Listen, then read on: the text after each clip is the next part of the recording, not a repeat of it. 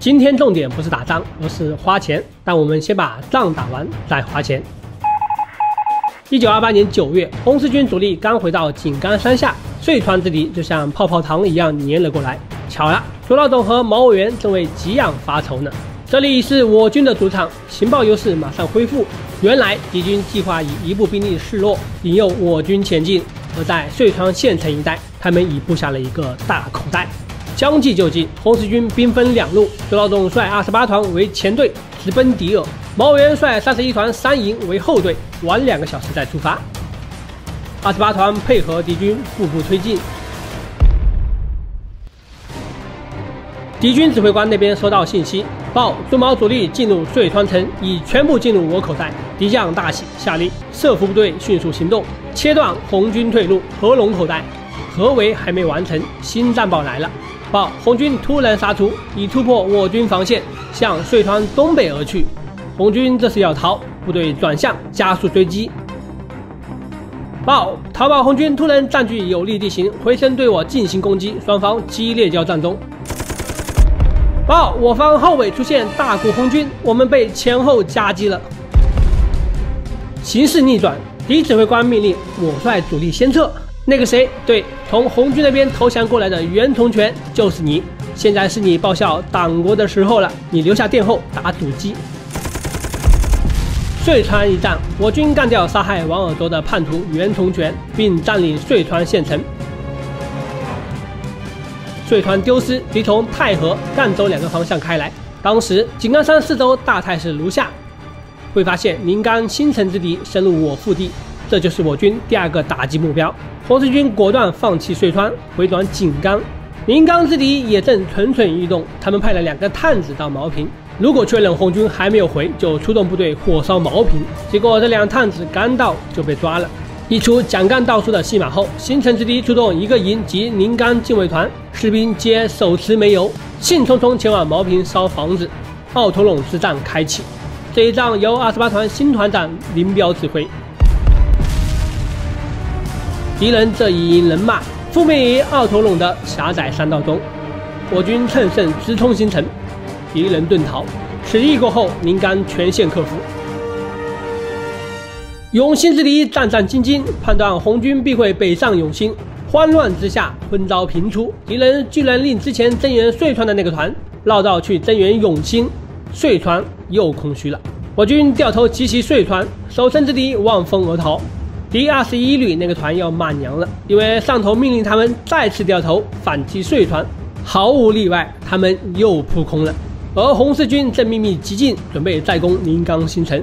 原来敌也趁我军在遂川又把新城给占了，但他们没想到红军回来的这么快，被红军一个突袭打得措手不及。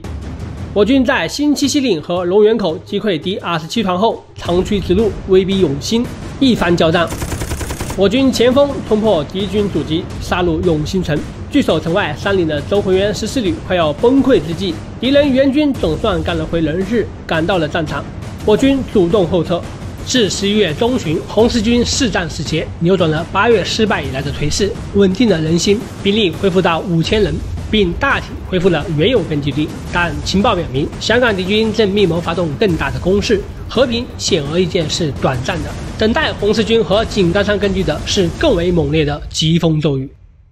但有趣的是，在这革命事业的低潮期，前来参加红军的国军士兵居然源源不断，甚至。多了起来。陈建制的投诚就有两例：乡八军营长毕占云率部在桂东起义，改编为红四军特务营；甘军军官张威率部在宜春起义，改编为红四军独立营。当然，更多的是零散的士兵来投。其中有一个叫曹福海的国军士兵，曾被红军俘虏两次。第一次被俘，曹福海以为会被杀，吓得痛哭流涕，苦苦哀求。结果呢？红军了解他其实也是个苦出身，教育一番后，锣鼓喧天，鞭炮齐鸣，给钱把他给放了。第二次被俘，曹福海不怕了，只是有些难为情，因为他又被上次俘虏他的红军军官给俘虏了。那红军军官对他说：“又来啦。”曹福海说：“这回我只打了两枪，还是朝天上打的。”他还是决定走人。后来第三次交战结束，曹福海拉着十四五个士兵主动投红军来了。曹福海面带笑容啊，这一次我就不回去那边了，免得老是当俘虏。红军军官同时发现，那十几个投诚士兵也个个是喜笑颜开，一点也不拘束。据统计，至一九二九年二月，红四军中俘虏士兵已经差不多占全军的五分之一了。呃，这就是红军优待俘虏政策的威力。但我们必须说明，优待俘虏是要花钱的。管吃管喝之外，不愿留下当红军的俘虏，每人得发两块大洋。这两块大洋是什么概念呢？在这一九二八年的井冈山地区，一个长工一个月的工钱差不多也就是一块大洋，一户普通人家的吃穿用度一个月一块钱勉强够了。而且我们必须看到，在井冈山时期，红军的前途无论从哪个方向看都是没有的，所以绝大部分俘虏是不愿意留下的。别的军队优待俘虏是指我不杀你，红军的优待俘虏却是反过来给俘虏巨资，这成本太高了。既然当红军的俘虏都能得到如此的优待，那要是当红军战士，岂不是天天都是神仙日子？哎，没错，天天餐风饮露，红米饭、南瓜汤、秋茄子味好香，餐餐吃得精打光。为什么井冈山红军天天吃南瓜？是因为喜欢吗？不是，是因为这里南瓜最便宜，一点点钱就可以买一大堆，别的菜红军吃不起。冬天在高海拔的井冈山上。气温很低，零下几度、十几度，但大部分红军战士没有被子，只能睡在稻草里。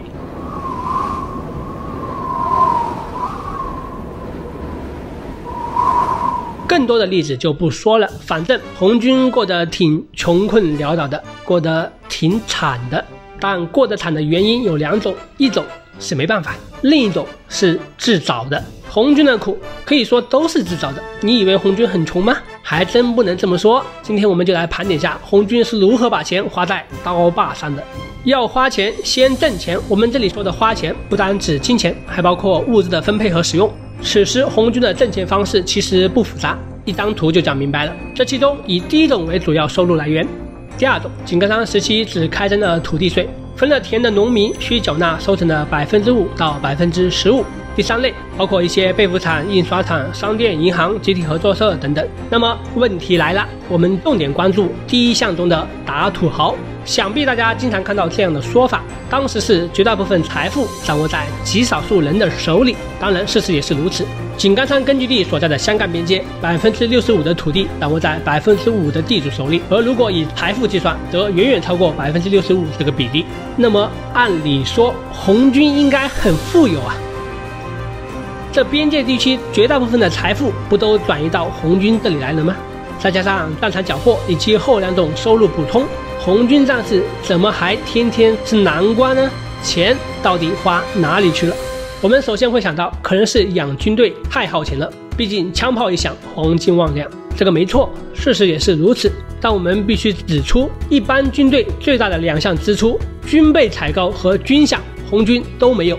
红军战士没有工资，武器装备几乎靠缴获，那么就剩下红军战士的吃穿用了。那么这吃穿用具体是多少呢？可以算出来，每一个红军战士每天发谷子一斤四两，发五分钱的伙食费，这五分钱拿来买油、盐、柴火和菜。如果是伤员，伙食标准提高一倍，以全军五千人计，那么每个月红四军要消耗二十多万斤粮食，要下发伙食费大概七千五百块。另外，虽然武器装备靠缴获，但武器是必须保养的，所以还有一项叫擦枪费。擦枪需要买油和布，标准是每支步枪每月擦枪费三分，机枪和迫击炮每月五毛。每个月偶尔会给大家发零用钱，金额不固定，这钱拿来剃头、洗衣服、买草鞋、抽烟等等，其他杂项不谈。这些加起来，全军平均每个月要下发一万多块。一万块是什么概念？我们前面说过。此时在香港边界，一个普通家庭一个月一块钱是勉勉强强够了。我们简单粗略对比，二零二三年全国平均最低生活保障大概是五百到六百块。那么简单说，规模为五千人的红四军，在一九二八年平均每月要消耗二十万斤粮食，每月要下发五百万到六百万的伙食费用。那你说红军花的多吗？看总量还挺多的。那你说红军花的少吗？看个体还真挺少的。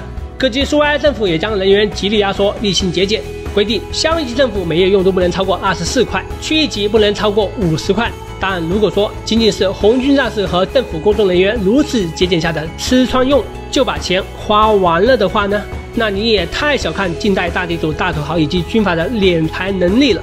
前面说过，红军的苦几乎都是自找的。以红军的速度，想要过得好一点，改善一下生活，是很简单的。事实是，红军已经活成这个样子了，却还有大把的钱拿去干别的了。第一项，我个人称之为撒钱。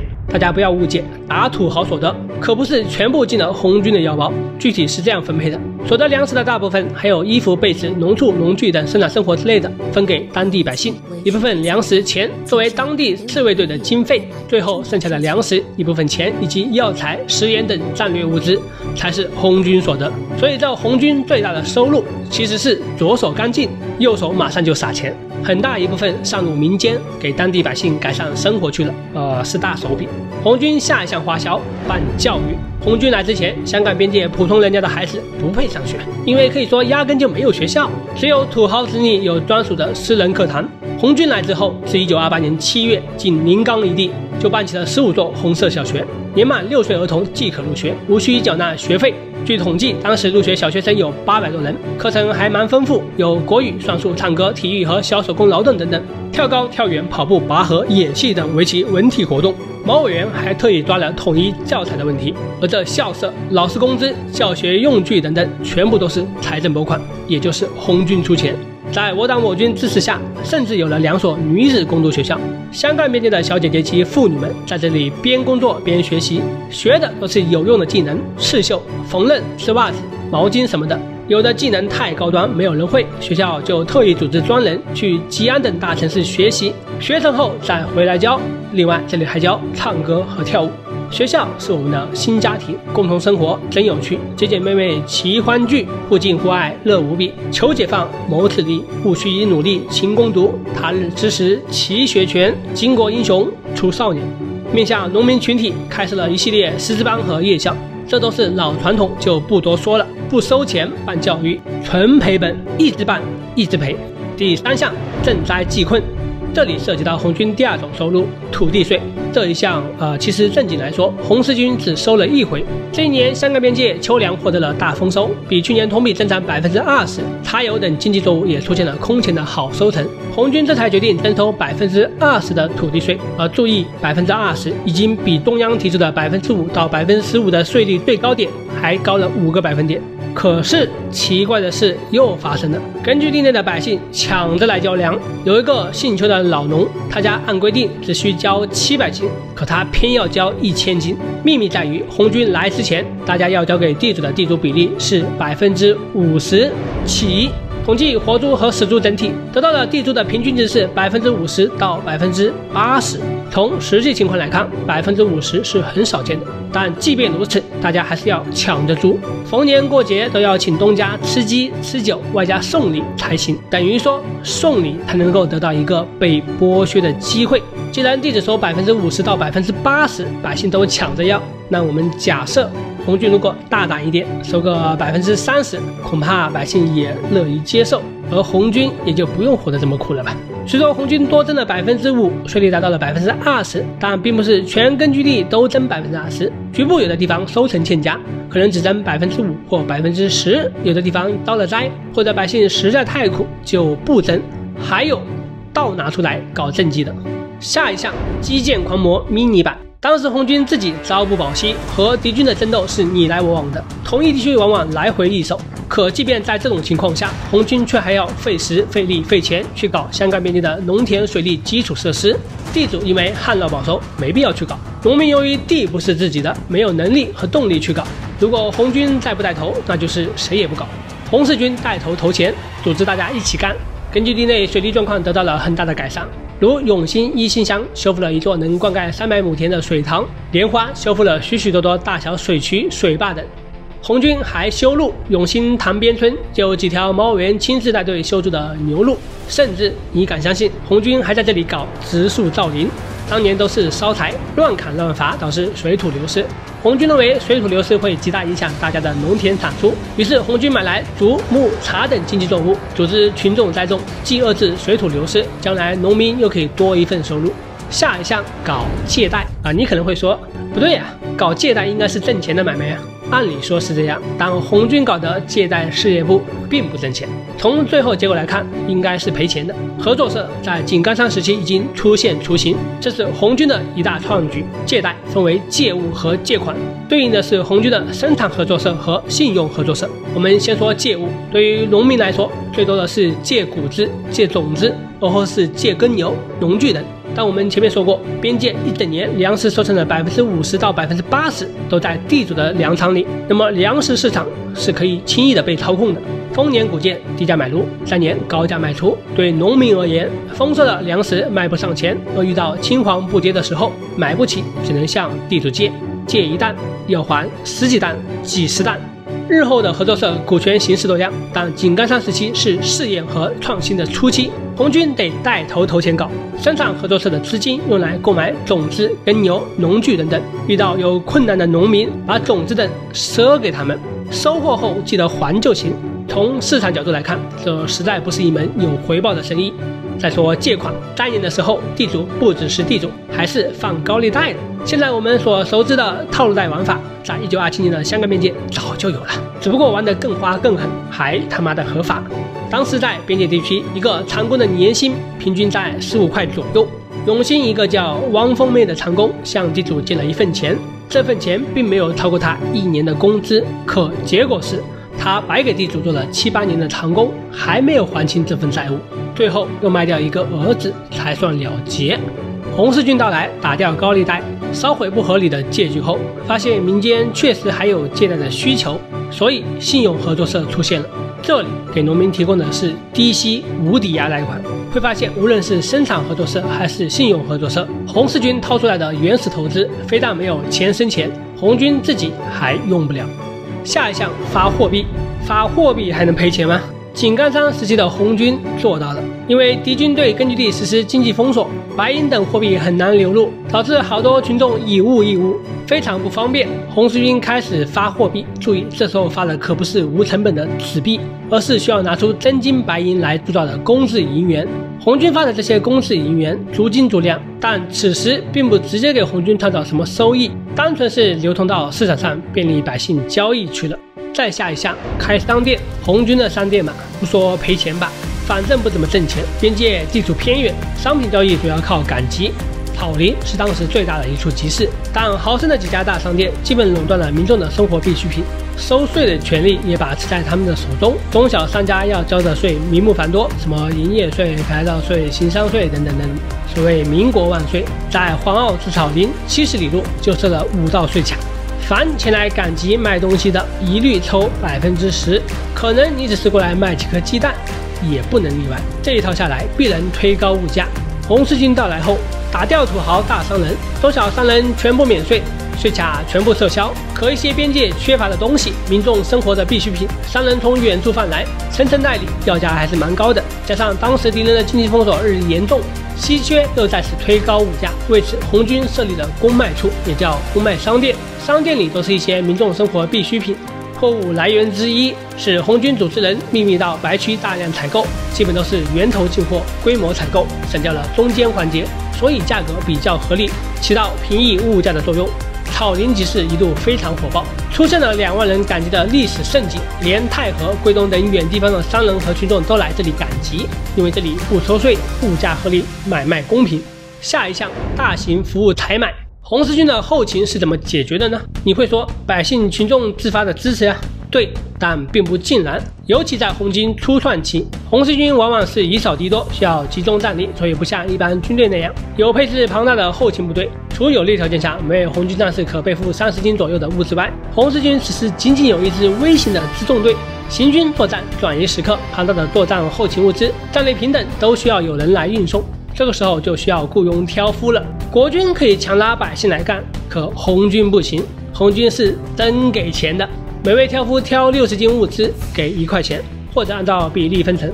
比如一担粮食，不论多少斤，红军六，挑夫四。同理，百姓带路也是要给钱的哦。总之，一般军队花钱的地方，红军是一分不花；一般军队不花钱的地方，红军是一分不少。一般军队的花钱方式是再苦一苦百姓，而像红军这样花钱，那只能是再苦一苦自己，天天吃南瓜了。